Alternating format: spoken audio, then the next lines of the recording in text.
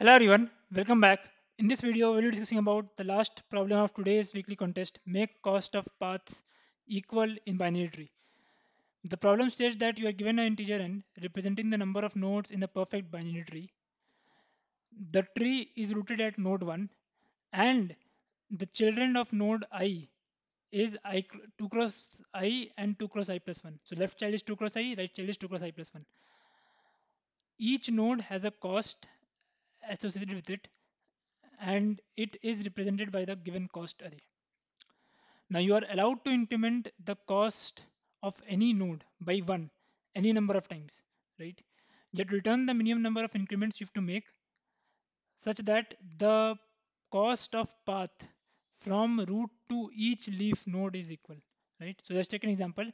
Let's say this is a tree. Now here you can see the root node is one, right? And uh, the right child and left child is 2 cross i plus 1 and 2 cross i. So here you can see the left child of 1 is 2 cross i which is 2. Left child of 2 is 2 cross i which is 4. Similarly right child of 1 is 2 cross i plus 1 which is 3. Right child of 3 is uh, 3 cross 2 plus 1 which is 7 right. So this is a given perfect binary tree and these are the costs. So cost of 1 is 1 cost of 2 is 5 cost of 3 is 2 and so on and so forth. Now here you can notice that the cost of these root to leaf is actually 1 plus 5 plus 2 which is 8 similarly the cost of this root to leaf 1 plus 2 plus 1 is 4 so they are not equal right? So the motive is to make the cost of each of these four root to leaf path equal right so one way to do that is just make the no, every node at every level equal. So in this case uh, you can increment this to 3 in one operation. You can increment this one as well to 3 in two operations so in total that three operations everything here is 3 similarly you can increment this to 5 by applying three operations here. So again everything here is 5 in three operations so in total six operations are required and each node at each level are equal. So therefore you can uh, like figure it out yourself that each root to leaf path sum will also will always be equal right? So hope the given example makes sense. Now how to solve this? As with every tree problem we will start with uh, the smallest tree or the uh, possible right? So let's say this is the smallest tree right? And we have to find out what is the total increments required to make the path sum of all root to leaf equal. So there, there are only two path. This is first path right? And this is the second path. So you have to make we have to make these two path sum equal. So the path sum of first one is x plus y path one of second one is x plus z right? And given that y is greater than z. So what you can do or what is the only possible choice here? Only possible choice is you have to increment this z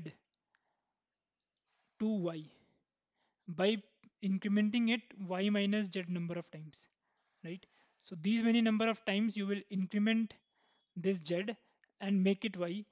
And finally the sum would be x plus y in both the scenarios right? Now after performing these many number of operation you can replace this entire tree with a single node and say that the value of this node is x plus y. Now why this is the case? Because you have already taken care of the fact that every path that will start from here will always have x plus y sum right so whatever you want to contribute to any of the below you can simply contribute here and everything will be propagated downwards for you right?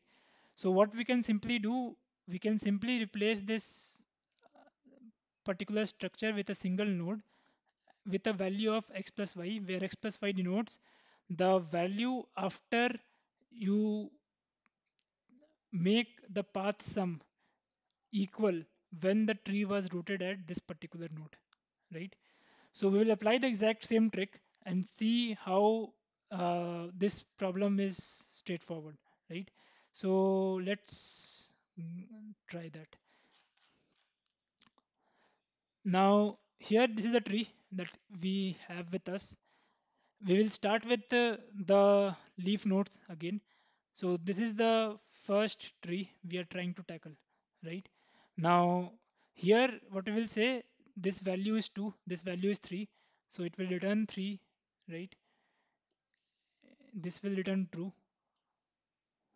Now this node will say okay the left one has a value 2, right one has a value 3 left one need one more value, right? So it will say that I will require to increment one operation. I will require one operation to increment this 2 to 3, right?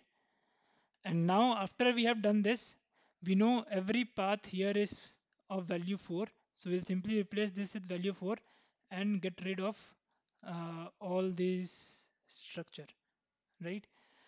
Now again, the same thing will apply here. This will return 7, right? And this will return 1. Now you can see this is falls short by 6. So what we'll say, okay, uh, we will apply 6 more operation and make it 7, right? Now I will get rid of all of these again and uh, replace this entire, replace this 3 with 10 because everything below is 7 and the current node value is 3 so everything starting at here would have value 10 same goes with here. This will return 2 this will return 3 we will require one operation to make it to 3 right? And uh, we will again remove everything here and replace 5 with 8 right? So now this is 8 and in very same fashion this will be 6 in two more operation and this would become 12 right? Now again same thing this will return 4 this will return 10 right? You will see okay this is 4 this is 10 this falls short by 6 so I have to add 6 here so I will just uh, apply 6 more operation right? And uh, finally I can get rid of this entire structure right? And say that everything below is 14 right? Same way again we will come here and uh, we see that it is uh, fall short by 4 right? So we'll apply 4 operations here right?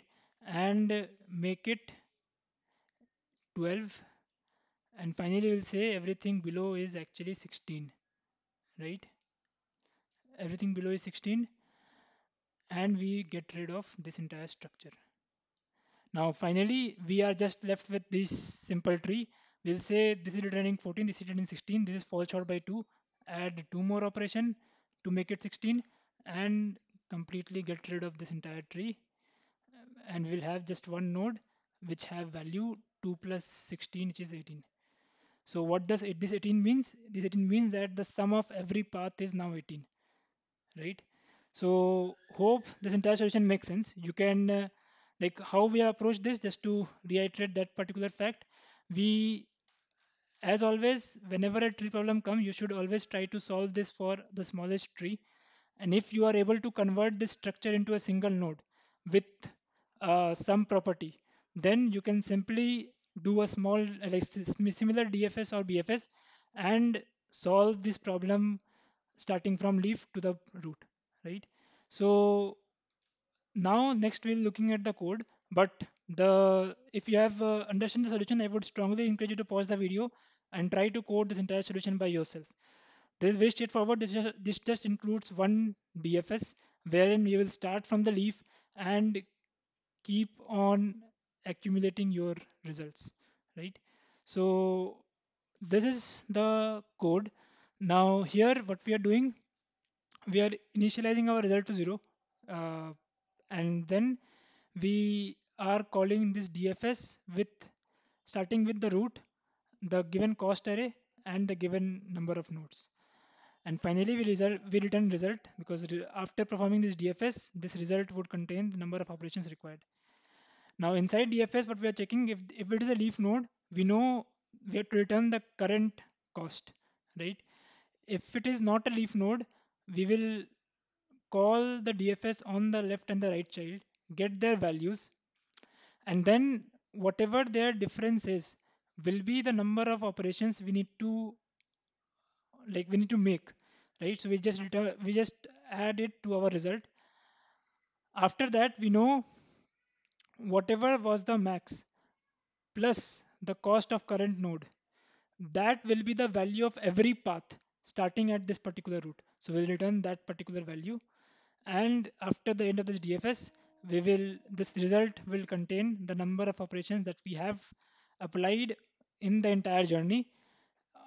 That will actually denote the number of operations required to make the path sum from leaf to from root to leaf equal for every leaf Finally, this isLeaf is very straightforward. We are just checking whether x cross 2 is greater than or not. Basically, if you are at a particular node, you can just say check uh, whether its left child exists or not. So left child of this node is 8. So whether it, whether 8 exists or not. 8 if it exists, it means it has left child. It means it is not the leaf node, right? So that's what we are doing here. So hope this entire solution makes sense. If you have any doubts in this particular problem, please post them in the comment section below. I will be able to answer. If you like the video, give it a thumbs up and do subscribe if you haven't already. And I will see you in the next one. Thank you.